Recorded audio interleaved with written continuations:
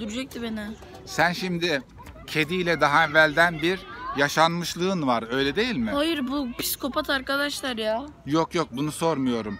Babanla kampa gittiğiniz zaman kediyle başından geçen bir maceran vardı. Onu kısaca Onu bize anlatır mısın? Kısaca bir anlat. Unutuyoruz sonra büyüyünce. Ee, Burada en azından unutmamış, hatırlamış Biz oluruz. kampa bir gün öncesinden gelmiştik. Yapacak hiçbir şey yoktu. Aa kedi de gitti. Motel ver işte otelleri vermişlerdi anahtarlarını ama hiçbir şey yok. Yemek yok. Servis yok. Hiçbir şey yok çünkü dükkanlar daha başlamadı. Ben de orada oturuyoruz böyle. Babamlar manzarayı seyrediyor. Sonra ben bir tane kedi buldum. Klasik kedi rengi böyle beyaz değil de böyle yeşil oluyorlar ya amca böyle tur şey küçük böyle ya siyah siyah turuncu böyle amca geldi ben onu kucağıma aldım böyle tuttum babama gösterdim falan amca sonra gitti benim elimi şöyle Siyah bir mıydı? kesti ya yok amca nasıl açıklayayım o rengi ya Turuncu dedin. ya amca kahverengi Ha. ve siyah böyle Sevimli bir küçük bir kedi E, miydi? yok yok Ba- büyüktü Dev gibi. ya, büyük, Ha. de, ya şundan Ha. 2-3 kat daha 1-2 kat daha küçüktü. Ee? Amca işte sonra o benim elimi çizdi. Neresini çizdi göster bakayım. Tam şuramı. Sen ne yaparken çizdi? Önce Bak amca ben onu kucağıma alırken amca Ha, gitti. kucağına aldın bir de. Kucağıma aldım sonra yere koydum bir anda tırmaladı.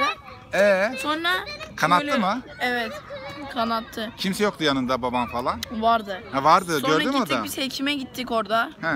Pansuman yaptılar falan. Babam dedi bunlara aşı ol- oldu mu kuduz aşısı. He. bilinmiyor falan dediler. Sonra işte halaya söyledi. Ay, halanın Didem Ha. Didem Hala. hala diyeyim ben işte. Ha Didem hala. Didem hala. İşte ona sonra söyledik. Sonra başka bir akrabası da mı vardı ya da arkadaşı mı ne? Vardı, Dedi. evet. Dedi o da doktor. Dedi aşı O da yapılması veteriner, gerekiyor veteriner. dedi. Baytar. Ha, Halamın işte torunu. Aşı yapılması gerekiyor dedi.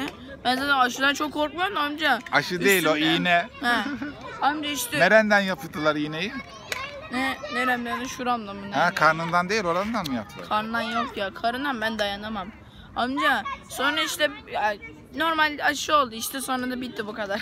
Kaç tane oldunuz? O kadar bitmedi. Dört tane. Ya her gün gittin sen oraya.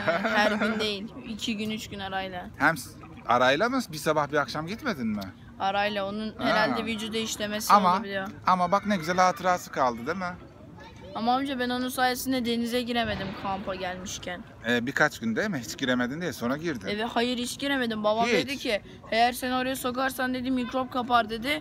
Onunla şimdi Hiç mi girmemiştin o zaman? Ama siz İltihap kapar diye korkuyordu amca. ama kaç devre gittiniz o sene siz? Zaten. Değil mi? 4 Ondan sonra- 3. İyi.